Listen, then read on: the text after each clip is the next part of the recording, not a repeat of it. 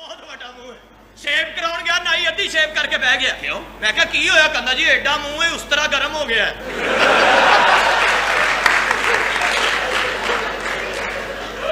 ਇਹ ਸ਼ੇਵ ਕਰਾ ਇਹ ਸ਼ੇ